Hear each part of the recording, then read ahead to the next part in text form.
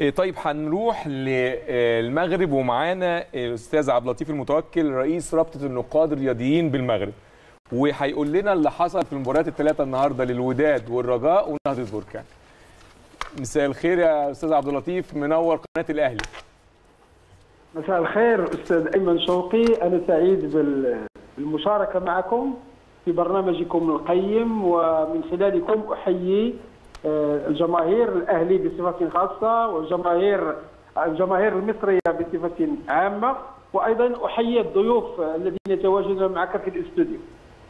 أهلا بيك. أهلا بيك. أهلا لطيف. كنا عايزين نعرف إيه اللي حصل النهارده في المباريات الثلاثة بالنسبة للوداد والرجاء ونهضة بركان. وفي الواقع اليوم كرة القدم المغربية عاشت لحظة تاريخية ومفصلية غير مسبوقة. تعرفون بأنه نعيش في موسم استثنائي بسبب جائحة كورونا. والدوري المغربي مثل ما عندكم في مصر الاتحاد المغربي لكرة القدم انتصر لمبدأ أو لخيار استكمال الموسم. فحضر التشويق حضرت مظاهر التشويق والإثارة والحماس إلى حدود الدورة الأخيرة. وعاشت الجماهير الرياضية المغربية خاصة أنصار ناديي الرجاء والوداد وأيضا أنصار نهضة بركان. عاشوا لحظات ممتعة لحظات أيضا متعبة من الناحية النفسية. كان هناك القلق يصاور كل جمهور على حدة ولكن حضرت الإثارة والتشويق. وأعتقد بأن الذي انتصر في نهاية المطاف هي كرة القدم المغربية.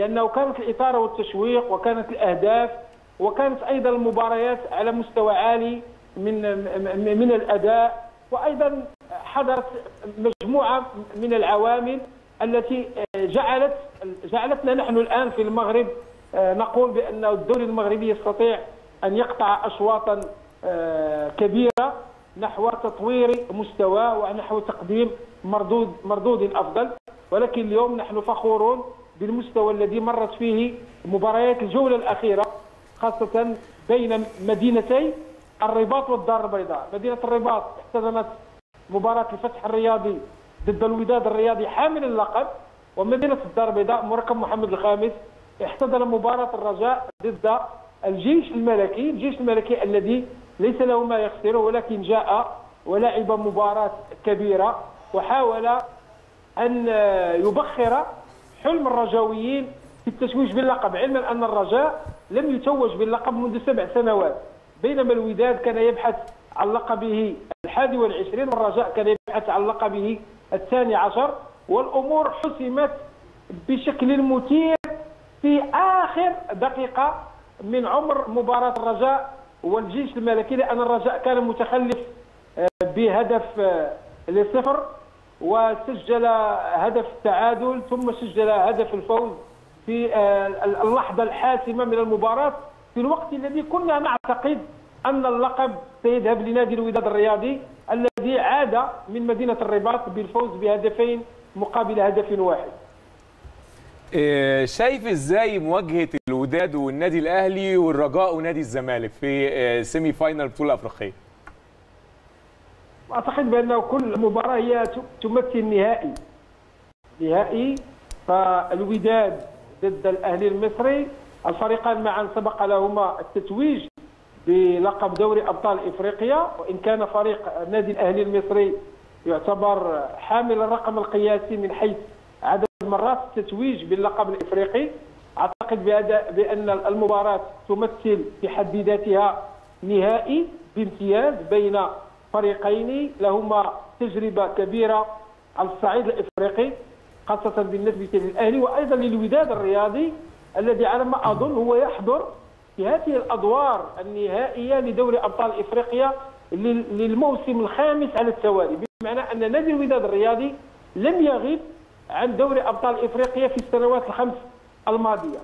بالنسبة لمباراة الرجاء ضد الزمالك هي نفس فهو أيضا بمثابة نهائي بين فريقين أيضا لهما التجربة على الصعيد الإفريقي.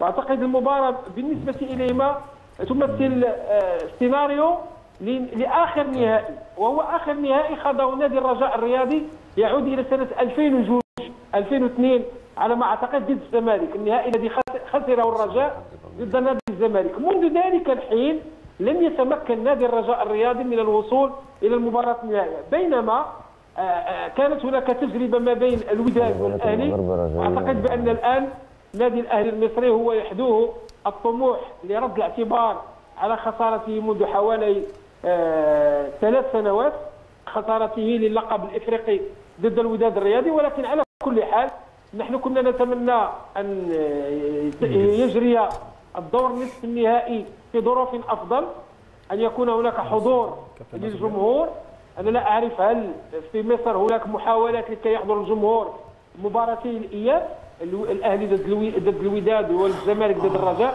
بينما نحن نتأسف لأن المباراتين معا ستلعبان في المغرب بدون بدون جمهور. وت- وتع- وتعرفون بأنه الجمهور حضور الجمهور هو شيء أساسي يضفي متعة خاصة ويضفي جاذبيه خاصة على مباريات كرة القدم ولكن أتمنى أن هذا الطبق ال- الكروي آه، الكبير آه، هذا الرباعي رباعي يمثل قاطرة آه، كرة القدم في إفريقيا. نتمنى أن نشاهد مباراتين في المستوى الكبير ذهابا وايابا وأن تطغى على المباراتين معا تطغى عليهما الروح الرياضية. بإذن الله. ونشكرك شكرا جزيلا الزميل العزيز عبد اللطيف المتوكل رئيس رابطة النقاد الرياضيين في المغرب